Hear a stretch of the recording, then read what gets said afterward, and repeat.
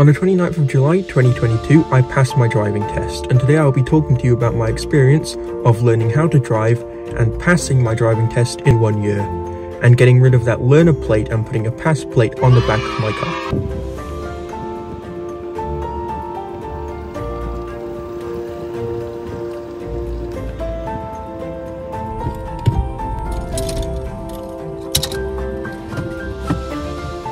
Hello, my name is Jack Henry, and today I'll be talking to you about how I passed in a year from the good bits to bad bits and how I practiced and prepared myself for the actual driving test.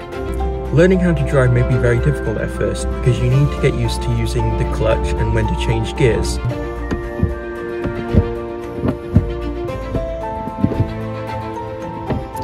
But after learning the basics, you can then move on to more advanced driving maneuvers, such as a hill start and an emergency stop. The second suggestion I will give you when learning how to drive is to practice all the driving test routes. My mum helped me learn how to drive and we found out that there are 11 driving test routes. I suggest practicing these 11 driving test routes because on the day of your exam, your examiner will pick one of these 11 driving test routes out at random for you to drive on that day. I will talk to you about the experience of the driving test a bit later on, but first I will drive to a new location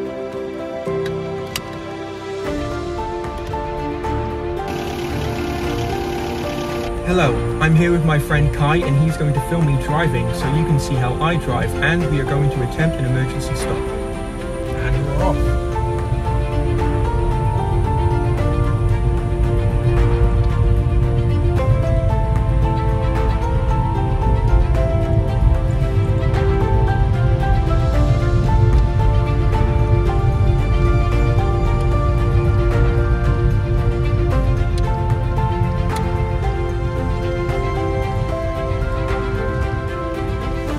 So I'm going to attempt an emergency stop when it is safe to do so. Kai, are you ready? Yeah, I'm ready.